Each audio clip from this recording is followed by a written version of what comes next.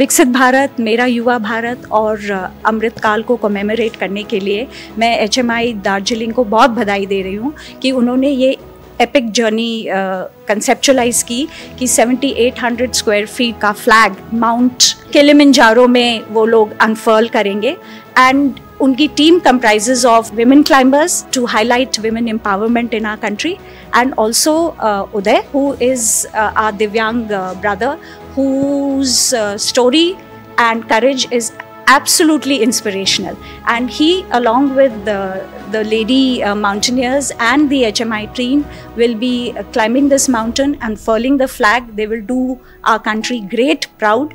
And I really congratulate HMI for conceptualizing this and I wish them all the very best on behalf of uh, Raksha Mantralaya that they have a very successful uh, expedition. All the very best and Uday, you make us all proud. Thank you. and uh, you are embodiment of uh, our uh, Prime Minister's vision about Divyang uh, that it is not a limitation and आपने क्या बोला था कि हर आपदा बोलिए। में अवसर ढूंढना है और खुद को अपने देश को अपने ट्राई कलर को हमेशा लहराते हुए देखना है।